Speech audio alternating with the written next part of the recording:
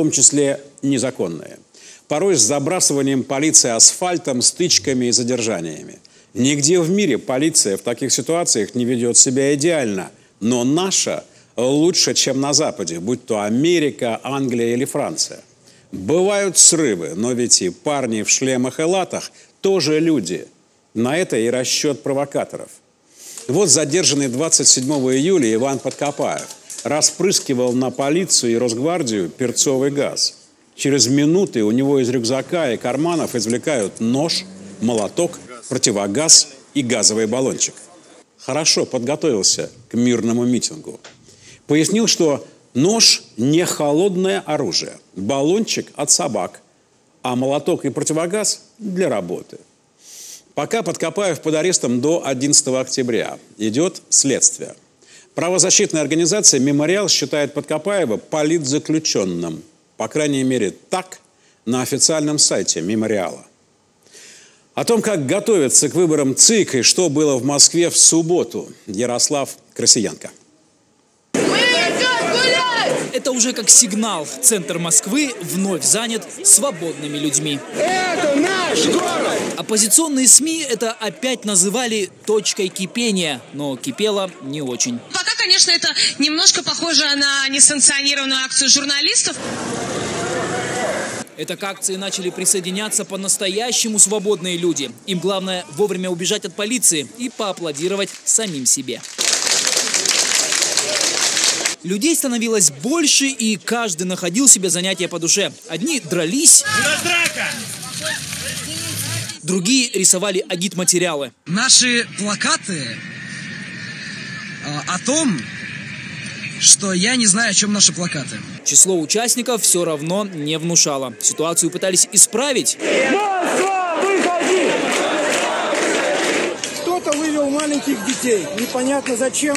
Обычным гражданам гулять на бульварном кольце было, конечно, уже невозможно. Тротуары, газоны, проезжая часть – везде молодые, прогрессивные, со своим мнением. Куда деваться, как вы думаете? Вы каждую субботу вот это устраиваете. У нас, у нас жизни здесь никакой нет. Если на пути вдруг оказывались не согласны с таким разгулом свободы граждане, тем хуже для граждан.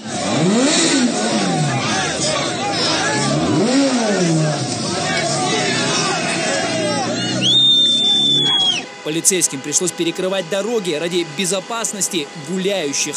Водители нервничали, но терпели. Трачу не только время, но и свои деньги. Меня ждет там клиент. Ну, видите, сейчас могут отменить.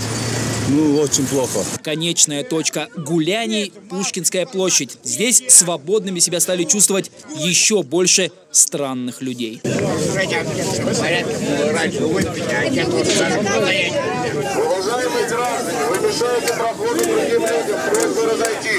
На вежливые просьбы полицейских по традиции не реагировали, а нашей съемочной группе вновь продемонстрировали все демократические ценности. В очередной акции протеста оппозиции, кстати, последней в этом летнем политическом сезоне, приняло участие рекордно малое количество человек. По официальным данным МВД, не больше тысячи человек. Ну вот здесь, на Пушкинской площади, может сложиться впечатление, что их очень много, хотя сверху видно, что протестующих не больше 50, ну 70 человек.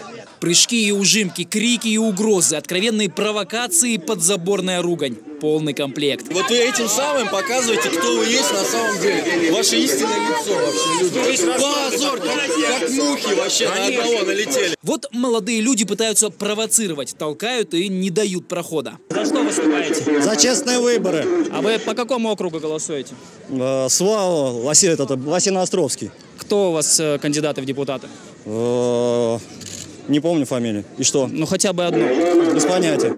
Ярослав, хотела бы обратить ваше внимание, что именно в этом зале, вот там будут сидеть 15 членов Центральной избирательной комиссии, э, наблюдатели, представители СМИ. Здесь будет такой биться пульс, что ли, вот сердце всей избирательной кампании. Это ну Пока Элла Памфилова думает о пиццах в своем кабинете, народ выходит на улицы под дубинки Росгвардии этого нового формирования войск СС.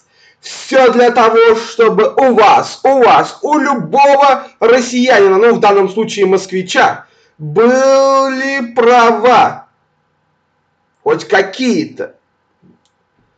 Все это напоминает мне фильм Михалкова «Солнечный удар», где мораль такова, если бы в Российской империи не думали бы о бабах, то революции бы не случилось. Вот так же и в ЦИКе, если бы не думали о жратве, возможно, митингов бы и не было. Здравствуйте, новый сезон лживых проукраинских вестей. Хотя сегодня вообще про Украину мы не будем говорить. О чем же будем говорить? А вот о чем. У нас теперь, знаете, у нас теперь закладки, как у нарколык.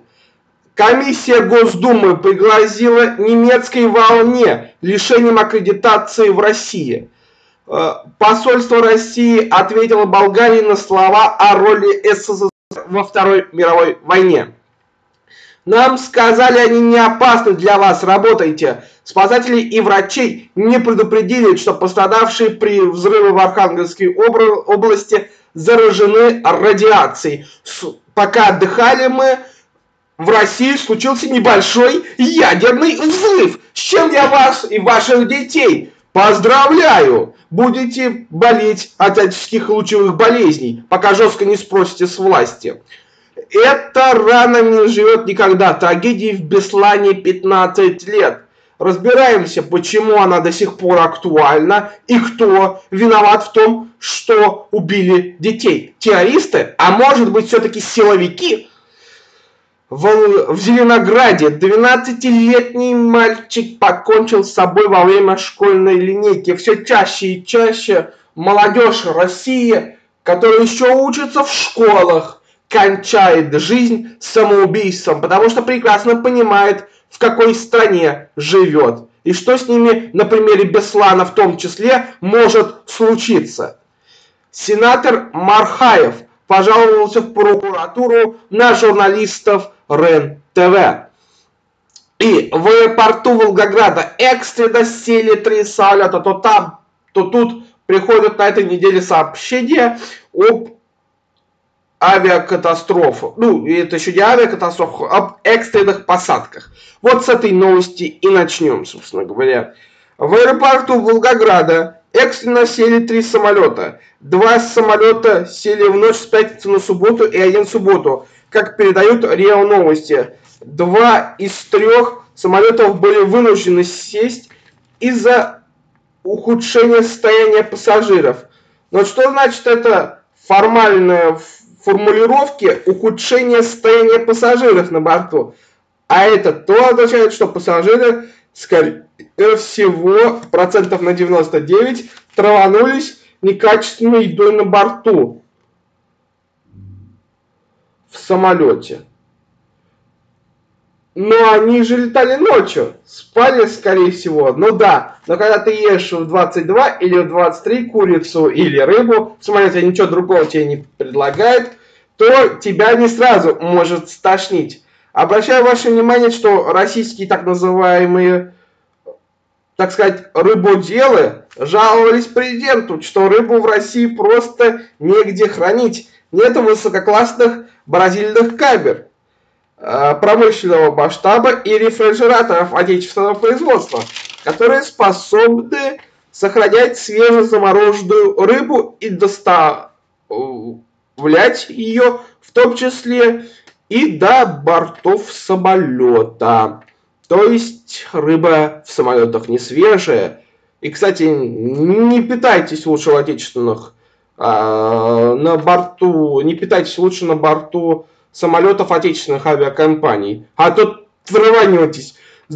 Э, только на западных, только на западных летайте авиакомпаниях. И на турецких. С другой стороны, наши авиакомпании экономят на всем что угодно, в том числе и на качественном питании пассажиров. Не то что эконом, а даже и первого класса. Это одна из причин, по которым я вам советую в том числе летать поездами РЖД. Это не является рекламой, это является объективная истина в последней инстанции. Потому что после коррупционера Якунина в РЖД прошло нормальное, вменяемое руководство, а новые поезда это действительно очень удобно и в два раза быстрее, чем самолеты РЖД. Только в РЖД все никак не могут поставить нормальные туалеты, на мой взгляд. Почему же Аэрофлот уступает РЖД? Смотрите, РЖД напрямую подчинено Министерству транспорта плохое руководство там или нет, неважно. Аэрофлот, у него есть надзирательные органы Росавиация, тот же самый Минтранс, и еще есть межгосударственная какая-то там, сейчас не помню, как называется, но, в общем, комиссия, которая расследует авиакатастрофы. То есть три, а еще транспортная прокуратура, то есть четыре ведомства, которые должны надзирать за осуществлением деятельности Аэрофлота, но спускают Аэрофлоту и другим российским авиакомпаниям крупным все на самотек. Продукты питания у них проверяет Роспотребнадзор. Точнее, хорошо, что проверяют. А вообще редко, когда про проверяют, ведь самолет это же собственность авиакомпании. Нельзя же трогать будущий гроб на колесах с двигателями почему-то. Кризис в авиастроении, в авиаотрасли и в целом в России такой, что пассажиры аплодируют пилотам только лишь за то, что они смогли успешно приземлиться на взлетно-посадочную полосу. Прекрасно понимая, любой пассажир российской авиакомпании – что при посадке он мог бы сразу отправиться на небеса. И это не фигура речи. Посмотрите на соседа в нищей, воюющей окраине. Самолеты не падали с 2014 года, а по гражданским, не по военным причинам в нищей окраине в Украине не падали самолеты аж с 2006 года. Поднимите данные в Википедии об авиакатастрофах в Украине. Последний в 2014 году был тот самый пресловутый Боинг. А если не касаться, так сказать, потерь из-за боевых действий, а брать сугубо авиакатастрофы, то есть без участия российского БУКа, то последний раз в Украине разбился самолет под Донецком. Кстати говоря, в 2006 году. Все. То есть, диде, то есть 15 почти, ну там чуть меньше, но тем не менее, почти не падали самолеты в Украине. А в России что? За последние, только этот неоконченный год уже три авиакатастрофе с летальным исходом. Ну и кто на дне? Окраина или вы, рахиты?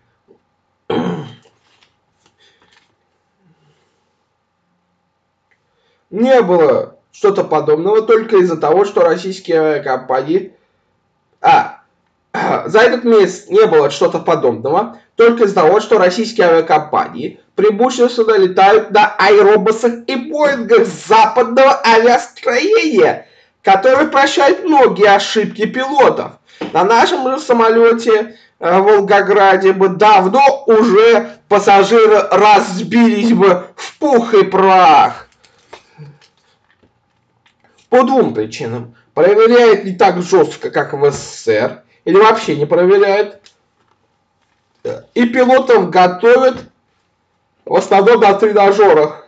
То есть неподготовленных пилотов сразу же выпускают на сложнейшие магистральные самолеты. Это все равно, что в автошколе готовят водителя грузовика, который до получения прав ни разу не садится в кабину, и поэтому даже на высококлассном даже не высококлассным пилотам в России надо говорить спасибо за то, что они хотя бы просто нормально, пусть там все траванулись, но все-таки самолет сел и никто не погиб. Да. Вот до чего дошли. То есть любая, э, любой полет самолета в России в, из точки А в точку Б может закончиться летальным исходом. Но тут просто три самолета сели в аэропорту Волгограда экстренно. Идем дальше. Сенатор Мархаев пожаловался в прокуратуру на журналистов Рень ТВ. Тот самый телеканал, где засели рептилоиды с планеты Небиру. Во время избирательной кампании в Бурятии, где сенатор подчеркнул от Иркутской области, то есть не от Бурятии, баллотируются на пост сенатора, на пост мэра Улан-Удэ. Ну, по-видимому, в Иркутске он уже все разворовал. Либо давно уже забил и на Иркутск, и на иркутчан. С таким подходом только в Совете Федерации работать. Причем мотивов я не понимаю. Стать даже не губернатором, а всего-то мэром Улан-Удэ, федеральному, что называется, седатору, который представляет свой или не свой, неважно, регион на федеральном уровне, в частности Иркутскую область. Почему он согласился на фактически понижение в должности? Непонятно. Причина, хотя ясная, как, как калина красная. После истории с Арашуковым Мархаев хочет быть подальше от Лубянки и здания главного следственного комитета России – тем более журналистов РЕН-ТВ выяснили, за что его можно было и посадить в камеру Карашукову. Согласно данным РЕН-ТВ, после встречи сенатора будущего мэра, а в России карьера вверх-вниз, а не наоборот для простых сенаторов, с избирателями журналистка РЕН-ТВ спросила у Мархаева о его причастности к подпольному игровому бизнесу в Улан-Удэ. И тут самое интересное, вместо того, чтобы сказать «я не при делах» или без комментариев, просто соврать, у сенатора Мархаева началась истерика. Сенатор начал выкручивать руки корреспонденту РЕН-ТВ, а его помощник толкнул оператора. В результате оператор получил ушиб, а журналист РЕН-ТВ вывих руки. Истерика Мархаева и то, что вдруг из сенаторов он добровольно решил стать мэром, это уже косвенные улики и свидетельствуют о том, что в Улан-Удэ сенатор от Иркутской области, будущий мэр Улан-Удэ, действительно крышует подпольное казино, с чем я вас, э, Улан, жители Улан-Удэ, и поздравляю. И вы думаете, что сенатор от Единой России, от партии жуликов и воров? Нет, вовсе нет. Мархаев, прости господи, потомственный коммунист, коммунист, который крышует казино. О, это можно было сделать отдельный э, сериал в духе отступников Скорсезе. Так вот, коммунисты, такие вот коммунисты, как Мархаев, издали СССР Западу, развалив его потом. Зюганов, Зюганов, ну что ж ты делаешь, а? Снимаешь Тобортка с выборов в Санкт-Петербурге, и покрываешь мафиози Бархаева. Где? Где у тебя настоящие коммунисты, а?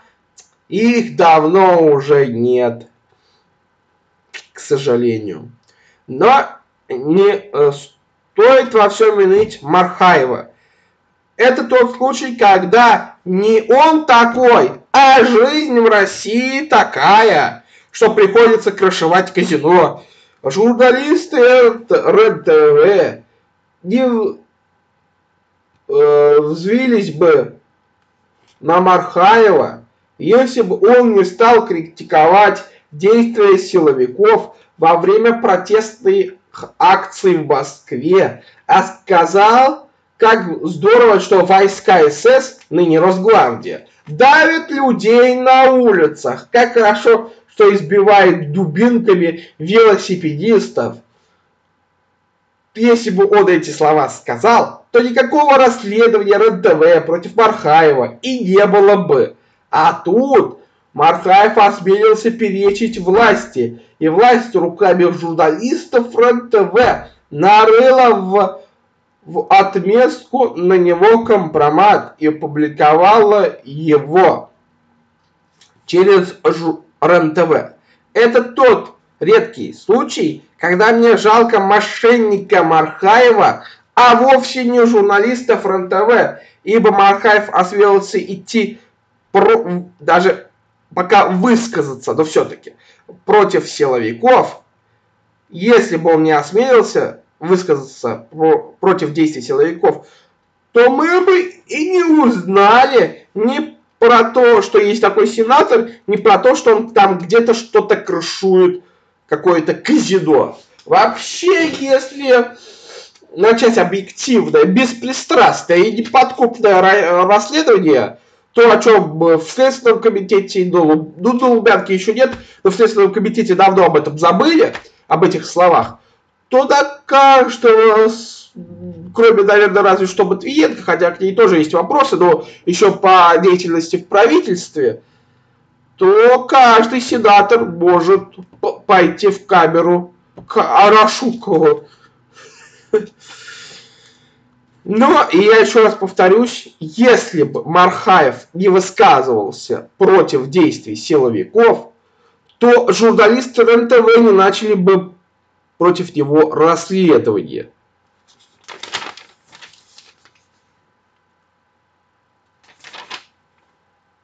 Если бы он молчал про подавление народа в центре Москвы, вот так вот, здесь все хороши. И нет черно-белых героев. Помните, да, классику? Деточкин виноват, но он не виноват. Так и здесь, да, Мархаев виноват, да, крышевал казино и должен ответить за это перед законом.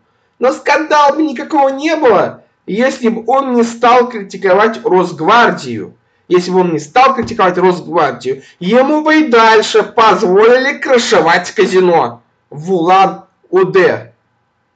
В итоге РНТВ подали на Маркиева жалобу в Следственный комитет. Маркиев подал на РНТВ иск в прокуратуру.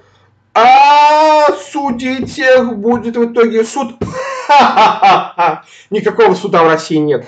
Всех будет судить Лубянка. Лубянка пока не сказала своего слова, не арестовала Мархаева или не предалась к журналистам РЕН-ТВ. И вот от того, что скажет Лубянка, это э, эти действительно власть имущие из трех букв, первая Ф, последняя Б, средняя С, то от того, что они скажут на Лубянке, решат, как им действовать в отношении Мархаева и будет зависеть его дальнейшая судьба. Будет ли он и дальше крышевать казино в Улан-Удэ или же нет.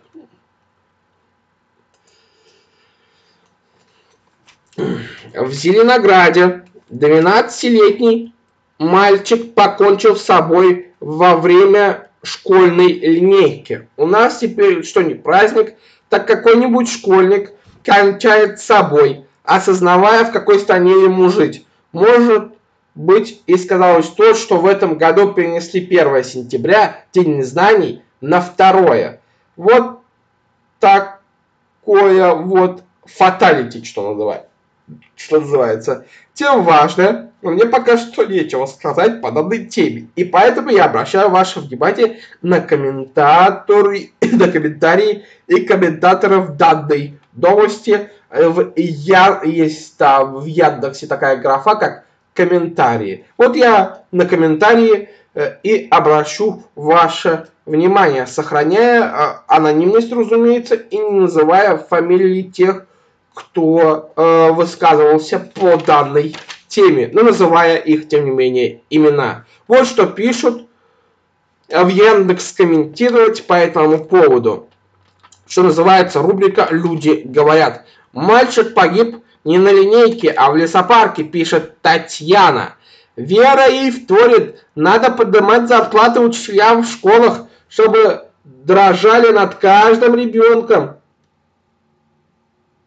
И секции надо бесплатно сделать для детей, чтобы не вешались. Елена пишет, сейчас школьники выпендриваются.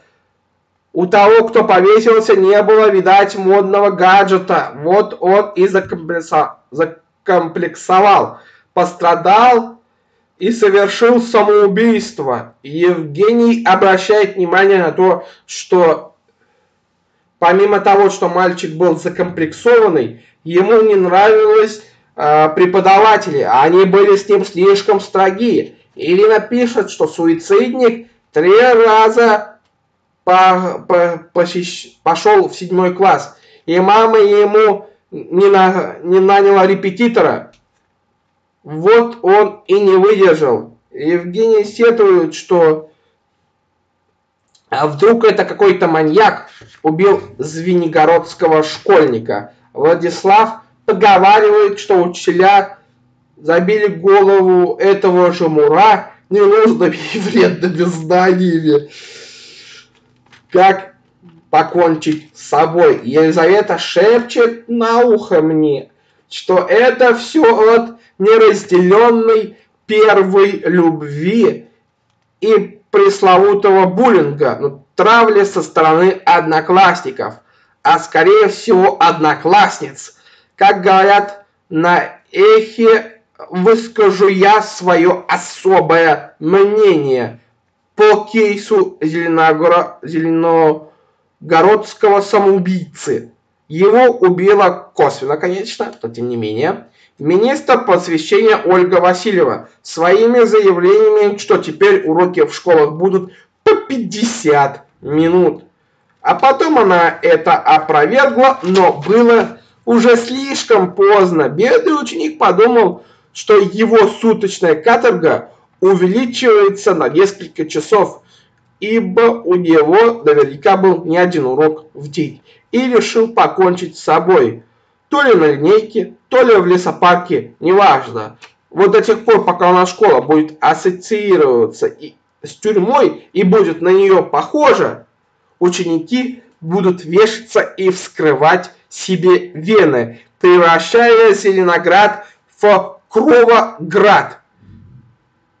И маньяка не надо, все школьники сделают сами. Сами намылят веревку, сами поставят табуретку и сами прыгнут в петлю.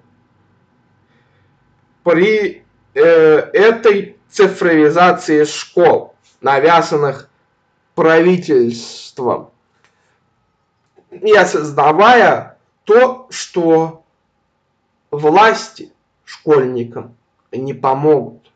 Но об этом в следующей новости. Даже не то, что не помогут, а наоборот и убьют.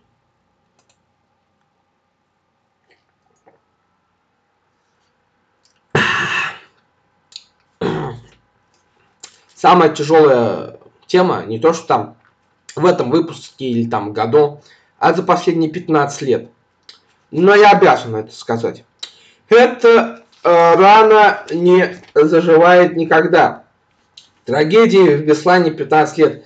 Напомню, что 1 сентября 2004 года группа террористов захватила школу номер один в Беслане и это была ответка, выражаясь современным языком, власти за Норд-Ост. Было захвачено террористами 1128 человек, из них погибли 314 э, заложников, в основном детей. 3 сентября начался штурм школы примерно в 13.00, и дальше в Царграде журналисты пишут, такие как Дмитрий Стенин, которые давно променяли совесть на бабло, заявляют, что им не хотелось бы вспоминать об этом. Ну что ж, а нам очень хотелось вспоминать об этом. Напомню Стенину, что тем самым он и его коллеги прокрывают, покрывают не просто преступников, а где-то убийц во власти. Давайте же напомним, что происходило в Беслане в действительности и почему власть нам приказала не вспоминать о тех событиях ровно 15 лет. Но пришлось вспомнить, ибо надо было что-то отвечать Дудю, чей фильм о Беслане посмотрели 7 миллионов человек. А на данный момент даже уже, наверное, за 10, за 10 миллионов перевалило. Так вот, что же происходило в Беслане тогда, 15 лет назад, 3 сентября 2004 года, в 13 часов 04 минуты и в 13 часов 05 минут прогремели два взрыва в школе номер один в Беслане. Нам на, напрямую врали, что данные взрывы были совершены террористами, у которых сошла нога с педали взрывного устройства. Однако было установлено либеральным, кстати говоря, расследованием Латыниной, что э, те взрывы были не в 13.04 и не в 13.05, а в 13.25. А что же случилось в 13.04 и 13.05 3 сентября 2004 года в школе номер один в Беслане? Очевидцы тех событий так описывают эти взрывы. Это, цитата, это были сверкающие белые шары, огненные шары, которые пролетели сквозь крышу, и в результате воздух в захваченной э, террористами школе начал гореть вместе с воздухом, начали гореть и заложники. Конец цитаты. Это очень четкое и подробное описание действия огнемета «Шмель», из которого стреляли с крыши дома номер 37 школьного переулка и с крыши дома номер 47 того же переулка. Огнеметами «Шмель» были на тот момент вооружены только спецназ ФСБ «Альфа-Вымпел». У террористов не было никаких огнеметов. Есть э, то, что стреляли из огнеметов, есть доказательства. Это плетка с прямым эфиром НТВ от 3 числа как раз 13.00. Кстати говоря, э, и на ютубе есть э, сюжет Маргарита Симонян. Да, да, вы не ослышались, именно Маргарита Симонян, а, когда она еще работала на РТР. Так в этом сюжете о Беслане, она, вот ее прямая цитата в этом сюжете, по школе ухали гранатометы. Ну что значит ухали? Стреляли стреляли гранатомет. И вот она сказала это 15 лет назад. А сейчас в программе «Помет» с Владимиром э, прогнившим жидом она говорит, что Дудь не прав, что, что его надо судить за экстремизм, за оправдание терроризма. Ау, Маргарита, это же вы 15 лет назад сами говорили, что по школе стреляли из гранатометов. Вы чё? Все же есть. Я понимаю, что вы совесть продали. Но есть же доказательства. Есть же ваши слова, сказанные вами 15 лет назад. И за это вы должны отвечать. Отвечать за то, что изменили свои показания. Так вот, пленку с тем, как э, спецназ ФСБ э, фигачил из шмелей с крыши домов номер 37 и номер 47 школьного переулка НТВшники потеряли вместе со своей совестью. И даже спецназ ФСБ, когда отстреливался по школе с детьми из своих шмелей, Тубусы с огнеметами они оставили на крыше зданий.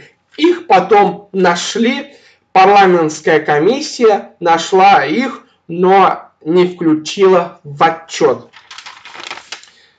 И сейчас дети Беслана играют именно этими тубусами, из которых власть мочила детей вместе с террористами в том самом 2004 году. По поводу взрывов террористов двух бомб. В 13.24 в штабе операции надеялись, что во время штурма эти бомбы не сработают. не успеют сработать во время штурма. Но, к сожалению, успели. Поэтому столько и погибло. Иными словами, спецслужбы России поступили как террористы. И с этого момента трагедия в, Бес... с...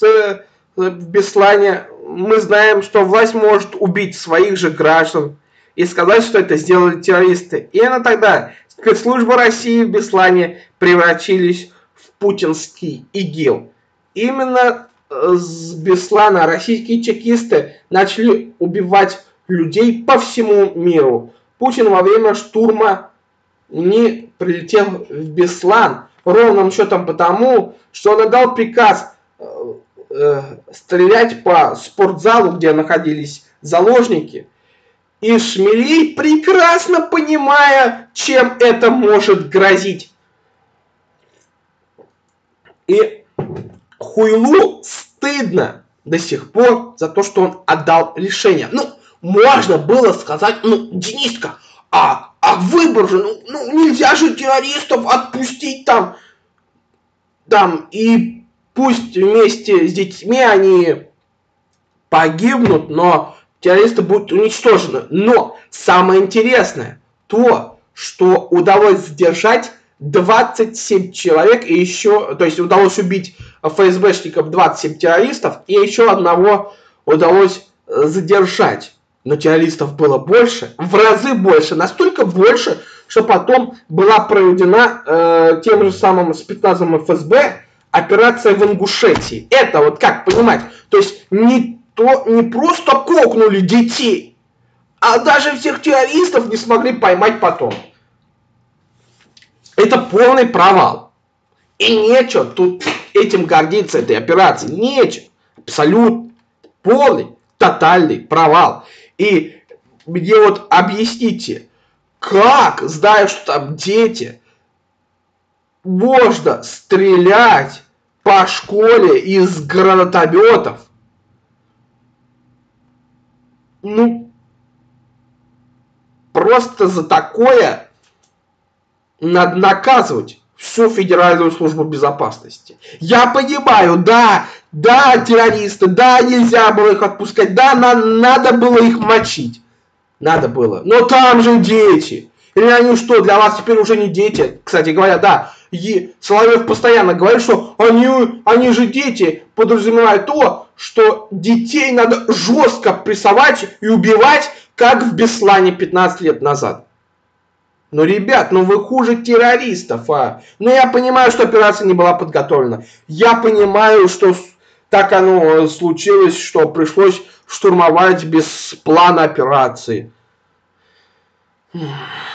Но стрелять по школе из гранатометов – это выше любого человеческого понимания. Вы не спецслужбы, вы бляди, которых надо уничтожать вместе с Росгвардией. И поэтому народ должен вооружиться и создать свою милицию, как в 20-х годах. И пойти на штурм администрации президента. Так.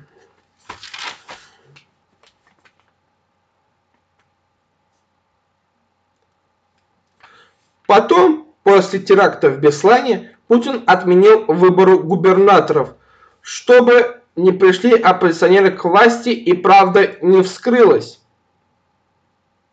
Все улики про Беслан были уничтожены танком, который ночь с 4 сентября, сразу после штурма, ездил по обломкам школы и равнял все улики с землей. Так избавлялись от улик, свидетельствующих о преступлениях спецназа и других силовиков в Беслане. Кто же виноват во всем этом?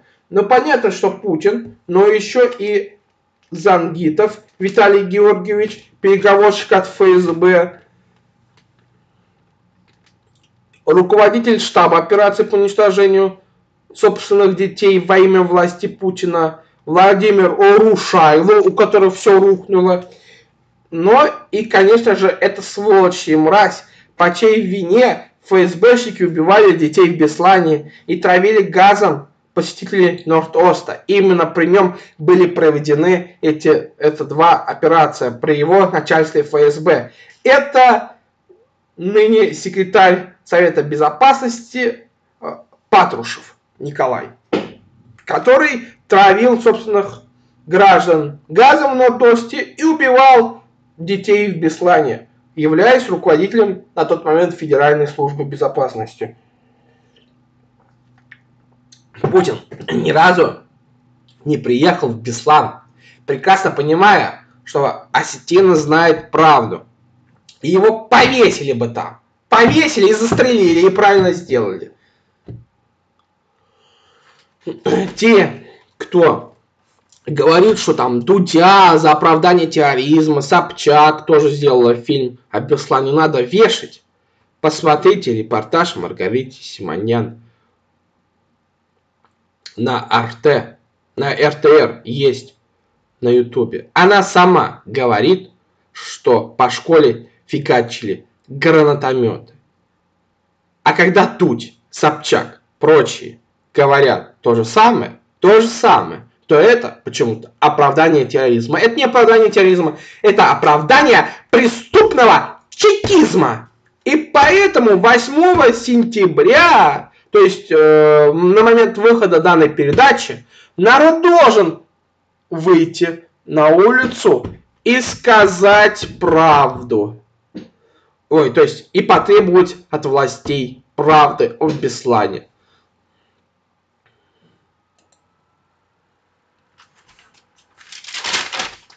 Нам сказали, они не опасны. Да вы работайте! Спасатели и врачей не предупредили, что пострадавшие при ядерном взрыве, да-да, вы не ослышались, именно ядерном взрыве в Архангельской области заражены радиацией. Все дело в том, что 8 августа в поселке Ненокса Архангельской области на центральном ракетном полигоне ВМФ Российской Федерации ракета «Буревестник», та самая с ядерной энергетической установкой, которой Паутлер, этот фюрер наш, фюрер у нас, хвастался как дитя, вместо того, чтобы уничтожать пиндосов, ракета «Буревестник» уничтожила своих же. При испытании злорадный смех. Причем ракету «Буревестник» э, старой еще советской разработки СССР не стал использовать ровным счетом потому, что этот самый буревестник по расчетам еще советских спецов мог сорваться с курса и вместо того, чтобы вдарить по врагу, мог вдарить по городам Советского Союза.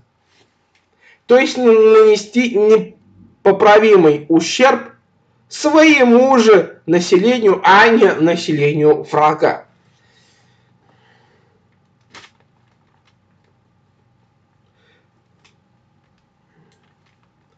и ракета могла уничтожить тех, кто ее запускал. Что, собственно говоря, сейчас и случилось. Ну, не сейчас, а 8 августа. Причем, как всегда, все засекретили, но не ожидали кровавые габисты очень и очень профессиональной работы ЦРУ США, благодаря которому Трамп выступил с докладом, что именно взорвалось в России, где, когда, на каком полигоне. И наши военные, и наши чекисты получили полное, тотальное унижение. Мало того, что у них ракета взорвалась, то есть взорвалась не просто ракета, а этот, этот самый ядерный, э, этот самая ядерная энергетическая установка в ракете. Так еще американцы прознали, что у них взорвалось, где и на каком полигоне, а? Что в условиях ведения боевых действий очень и очень помогло стереть бы Россию с лица земли. Во-первых, ну и унижение еще и в том, что наши военные заразили радиацией весь север России. И теперь жители Архангельска скупают массово противогазы, которые, кстати, не помогут, если что. Я э, советую всем, э, э, гора, всем тем, кто населяет э, город, э, Архангельск и прочие северные города, просто уезжать оттуда, потому что, понятно, радиация не щадит никого. У ваших детей, у вас, возможно, надеюсь, что нет, но возможно, будет рак, а то еще и еще и что-то. Так что уезжайте поскорее. А во-вторых, оставляйте север врагу, что называется. А во-вторых, все так тщательно засекретили, что об этом узнали враги и обнародовали. То есть, опять-таки, непрофессиональное действие чекистов, как 15 лет назад в Беслане. После э, взрыва буревестника США надеются, что Путлер больше построит этих ракет. Да, не меньше, а больше, чтобы больше россиян погибло при авариях данного комплекса, и тогда никакой захватнической войны и не нужно. Можно брать Россию голенькой, когда э, в ней останется жить 150 человек примерно. Ну, как в романе «Метро Глуховского», собственно говоря. Так, так, так, так.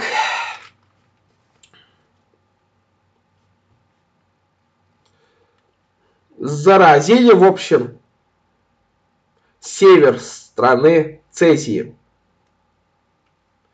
Пострадавших при взрыве ракеты доставили в больницы Архангельска. Кстати, не в специальные лаборатории э, РХБЗ защиты, которые есть у вояк, а в обычные больницы, чтобы сохранить секретность и больше убить гражданских. Больше гражданских надо было убить, лишь бы сохранить секретность.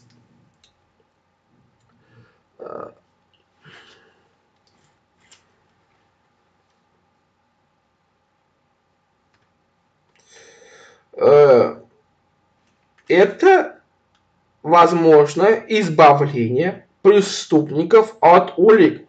Даже не развернули, я уже сказал, РХБЗ защиту и не привлекли э, докторов МЧС, а только местных докторов. Ну и здесь вышел местных архангел, докторов из Архангельской областной больницы. Но здесь вышел грандиозный скандал. Врачам областной больницы Архангельска наврали, что э, все больные дезактивированы от радиации. Врачи начали оперировать больных, но тут, как в фильмах, в, операционную пришли до 7300 МЧС и в панике выбежали из больницы. Молодцы. Молодцы. Хорошая работа, да. Случись что-то более грандиозное, с ядерными, например, на Балаковской АЭС, я теперь знаю, как МЧСовцы будут действовать. Будут героически, геройски выбегать из палат и литироваться. Но бойкие врачи их поймали, и надо было еще ему кольчик сделать, их поймали, и те сознались около больницы, что в операционной радиация зашкаливает все разумные пределы, а вернее сказать, она в пределах нормы. В пределах нормы Чернобыльской атомной электростанции, с чем я Архангельск и поздравляю. Врачей, которые лечили пациентов от э, ракеты «Буревестник», который хвастался Путлер, как заправский школьник.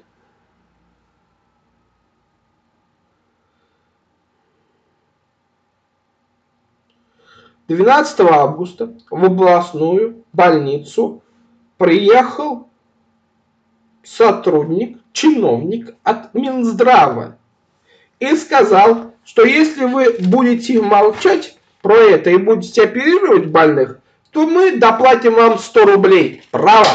Молодец, Скворцова. Люди в непредназначенных для этого условиях спасают больных от радиации, а вы им доплачиваете 100 рублей. Браво, браво.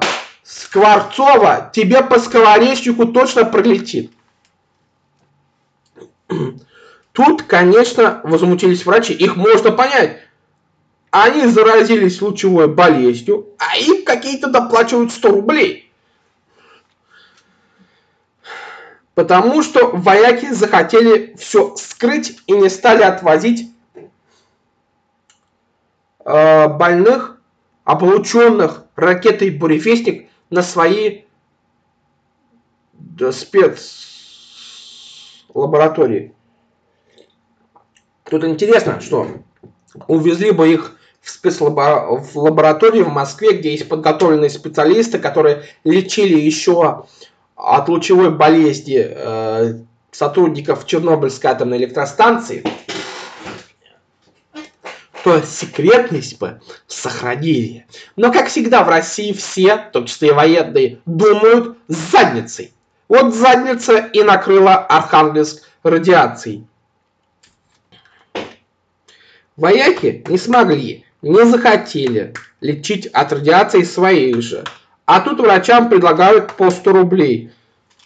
Ну, Скворцова ответит еще за это, безусловно. Э, не перед э, земным судом, так перед высшими силами.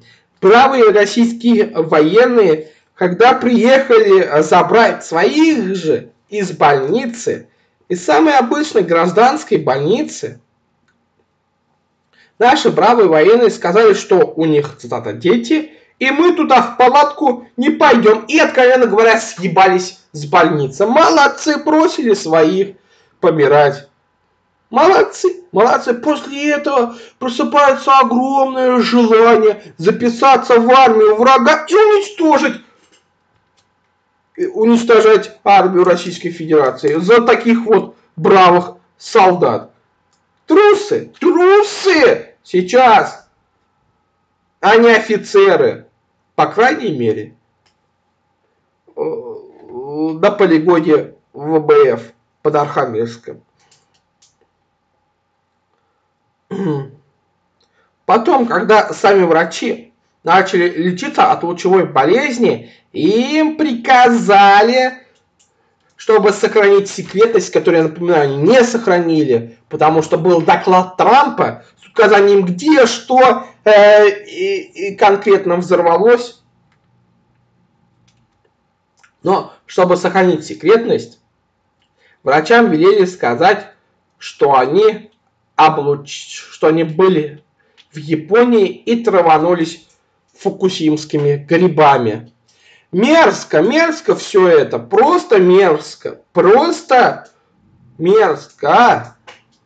Где? Где вы, жители Архангельска? Почему не выходите с пикетами, а? Вас же всех радиация положит к, в могилы. И все это, вся эта ситуация со взрывом буревестника, с тем, как хотели скрыть, но не скрыли, напоминает, что правильно, Чернобыль HBO. Вот в Чернобыле HBO ровным счетом также, собственно, и показана авария на Чернобыльской атомной электростанции, когда пытались скрыть, засекретить, а потом поняли, что радиация превышает все разумные пределы, город эвакуировали. Но эвакуировали ли Архангельск? Нет, нет, нет, нет. Поэтому вы, жители Архангельска, к сожалению, если не уедете, сдохнете от радиации. Что тут еще сказать? В СССР заботились о своих гражданах, врали им, но это было сделано с целью, чтобы их спасти. А в Архангельске даже никто ничего вас не будет эвакуировать, вас просто положат там вместе э, в могилы и около домов, и все. Надеюсь, что этого не произойдет. Да, э, в Чернобыле от HBO все-таки создатели сериала, сериала были правы на все сто процентов. И вот поэтому горит у, у э, патриотических пуканов по поводу этого сериала, именно поэтому, что ему занизили рейтинг на Кинопоиске. И именно поэтому есть множество роликов на Ютубе, где шахтеры пытаются опровергнуть эпизод сериала Чернобыль HBO. Но как бы пропагандисты не старались, на примере Архангельска, на примере секретного полигона ВМФ Российской Федерации видно, что правы все-таки не российская власть, а право все-таки власть американская.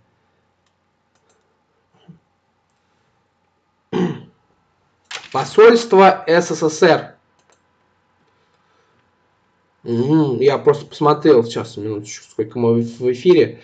Посольство э России ответило Болгарии на слова о роли СССР во Второй мировой войне. Ранее болгарский МИД заявил, что Болгария не должна закрывать глаза на то, что советская армия дала народам Восточной Европы полувековые репрессии.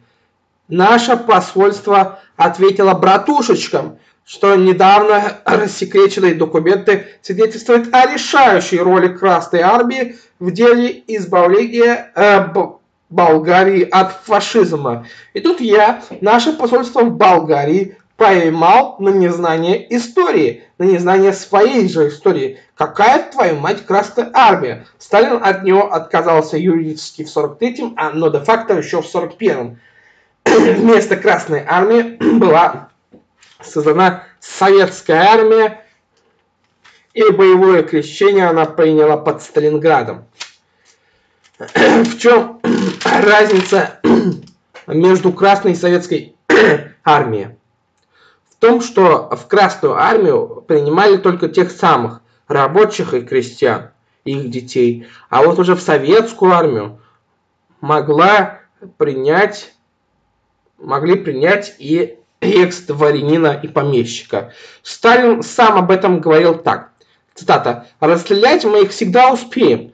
Главное сейчас, чтобы они послужили на дело Родине, в деле избавления от немецких захватчиков. Конец цитаты.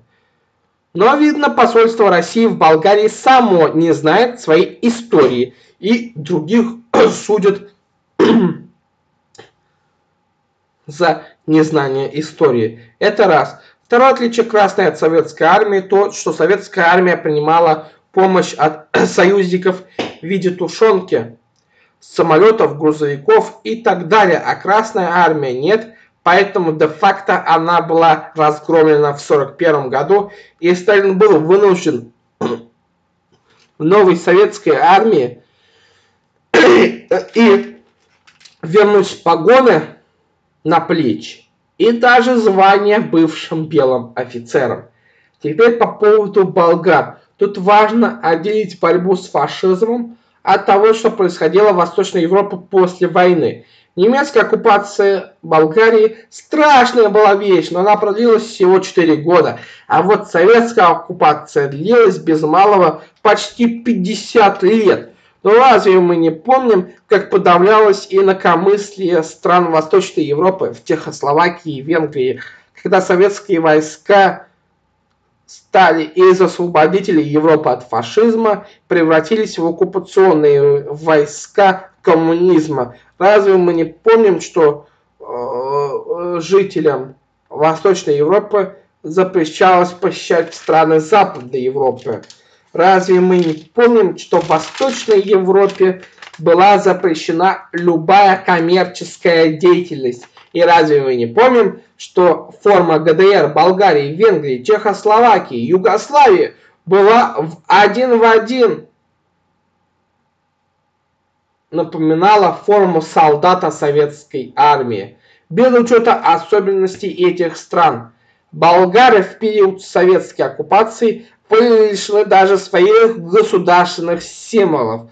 На болгарском флаге красовалась красная звезда как символ того, что за Болгарией присматривают в СССР, и если что-то не так, подавят жестко.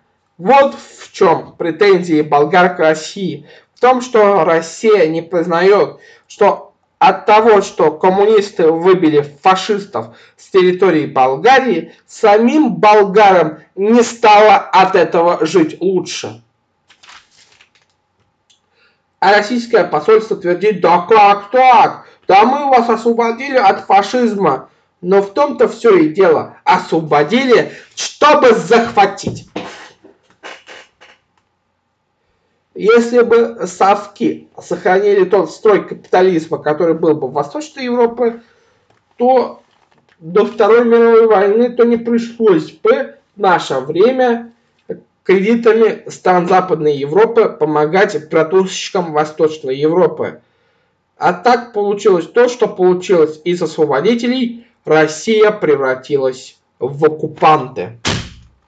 Ну, еще Советский Союз, вернее.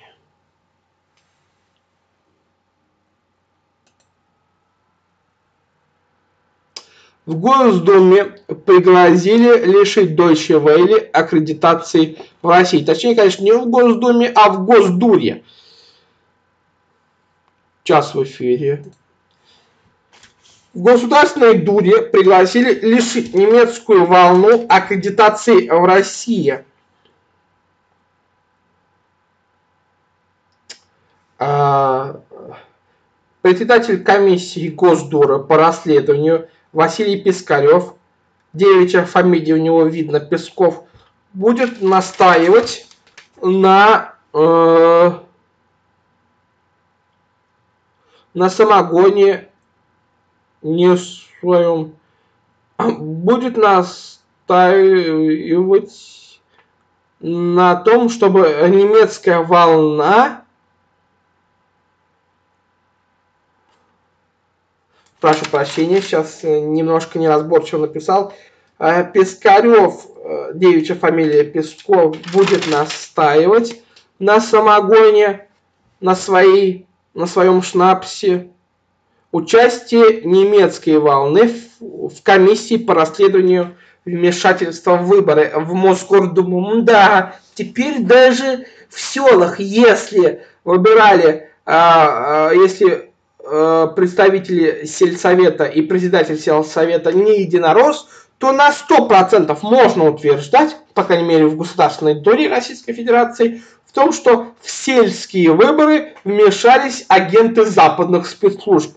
Я бы действительно советовал журналистам немецкой волны все-таки сходить в Государственную Дуру Российской Федерации на охотном ряду и поохотиться на депутатов со скрытыми камерами. Вот это было бы действительно интересно и даже не столько потому, что иначе немецкая волна может лишиться лицензии в России, а потому, чтобы напомнить господам депутатам про свободу прессы в России и напомнить на своем немецком примере историческом, к чему приводит уничтожение всяких свобод, в том числе и свобод мыслить не как все. Скандал вокруг немецкой волны разразился, когда она на своем сайте разместила маршрут митингов за допуск всех кандидатов к выборам в Мосгордуму.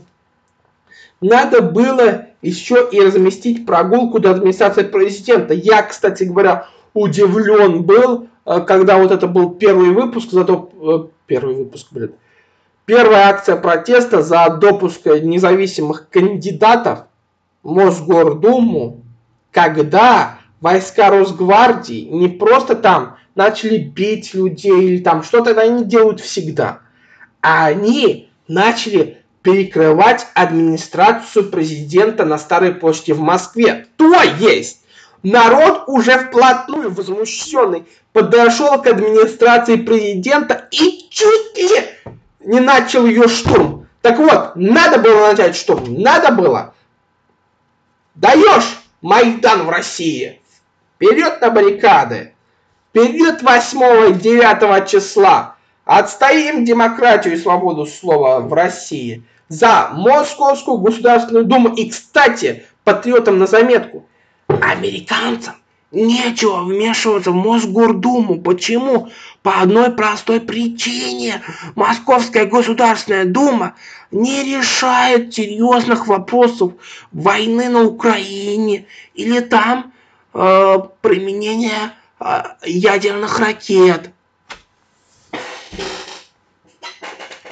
Тем не менее, народ устал видеть единороссов в Мосгордуме и хочет альтернативы. Но альтернативы Элла Памфилова, человек, с которого я начал этот выпуск, не дает.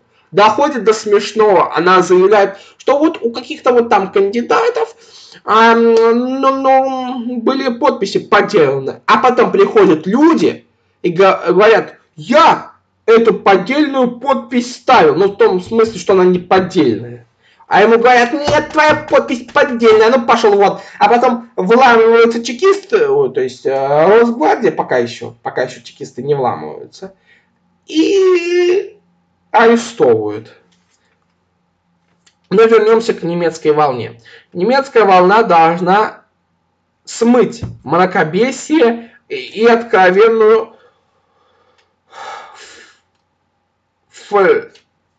фальш в России по поводу того, что Россия демократическая страна. Никакая она не демократическая страна.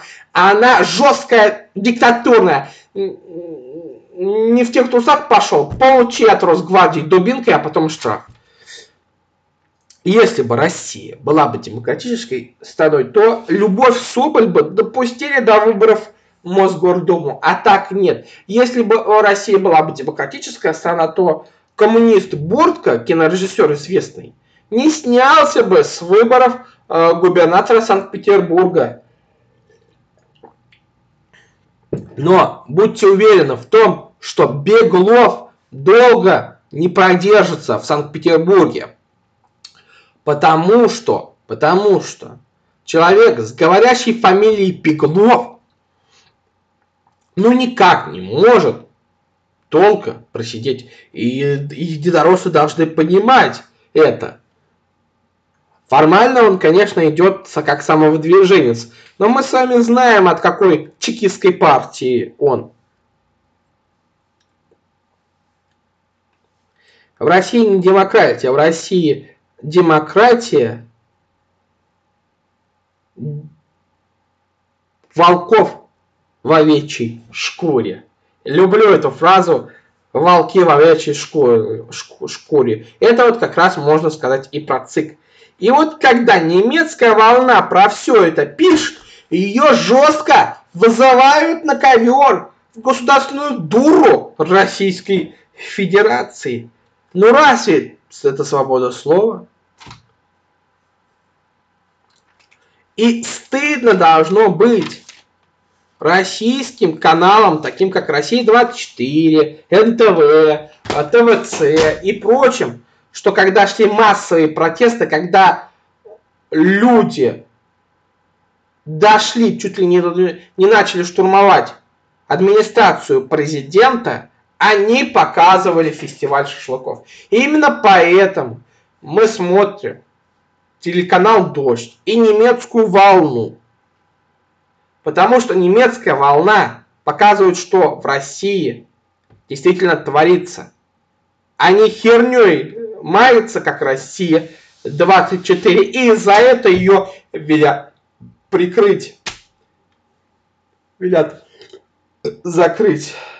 Ну и еще, значит, Пискарев набрался смелости и пригласил в комиссию по расследованию вмешательства в выборы в Мосгордуму э, это посла США Ханс, России Хасмана. Но посол США ходит только к важным и значимым в России людям, таким как Путин. Какому-то Пискареву он даже близко не подойдет. А если он подойдет, то Пискарев его рад будет видеть, потому что не каждому депутату удается встретиться с послом страны номер два в мире. Сейчас США, увы, сдали позиции и на первую э, роль Китай вышел. Ну, а что касается митингов в Москве, э, данная программа выходит как раз, когда э, выборы в Мосгордуму проходят, когда проходят выборы в Санкт-Петербурге, еще по городам и весим России. Так вот, могу сказать только одно. Выходите на улицы под дубинки Росгвардии, организуйте свою милицию, вооружайтесь граждане, а иначе вас жестко отпиздят, как детей в Беслане.